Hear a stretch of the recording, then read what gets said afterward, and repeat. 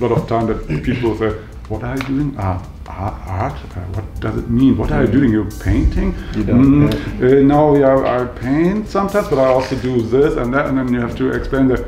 Okay, and this is a job.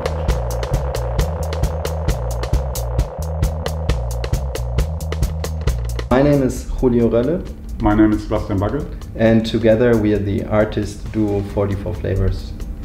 We are actually working um, in between design and art and we met while we were studying together in Bielefeld. Was 2003? Yeah, I think we started even one year before. Yeah, 2003 was was the first project together. So I think yeah. we are getting to the 20 years soon. Like we work almost 20 years together. it's amazing. A lot of people asking us, hey, who is doing what actually? Mm-hmm. And for us, it was just not important. For us, it was important to be a team and to support each other and to also make some, everything under the same flag. Oh. 44 Flavours as a name was perfect for us. It was started as a magazine project, and at some point, it was sort of a, a shield that we could also um, get out to protect ourselves. It, it was just like a really comfortable space in which we could um, move forward. Yeah, it was the right name for us in the right moment, and now, yeah, now we grew into it. No? Yeah, yeah.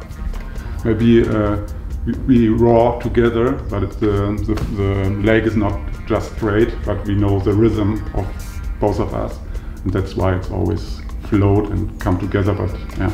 That's a nice metaphor. Uh, yeah, I was uh, first time against about sitting in the same boat. Yeah, sitting, yeah, we're sitting in. The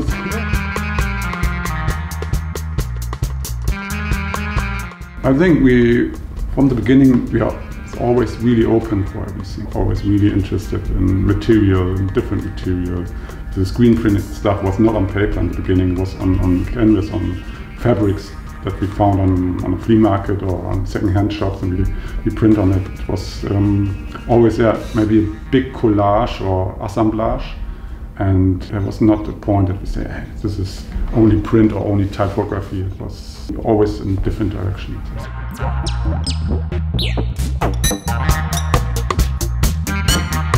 Maybe there were times where we actually discussed a lot and so on, but I would say the last 10 years it's pretty safe. Like we know each other more and more and we know what we want. But maybe maybe now in an interview it's the right time to, to dis discuss these things. Hey, are you actually mega angry?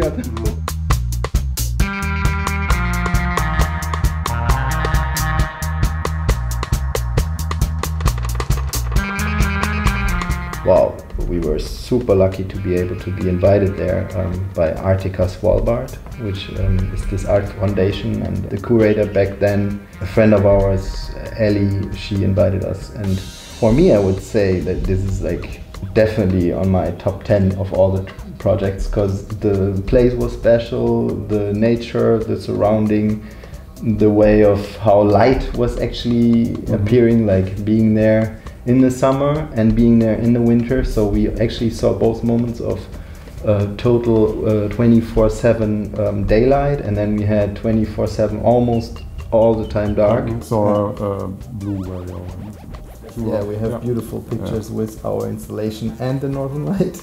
you know, like it's is this possible? Like two things in our work is also to collaborate, not only um, the two of us, but also collaborate with other artists. We are also working with Tropics on different projects.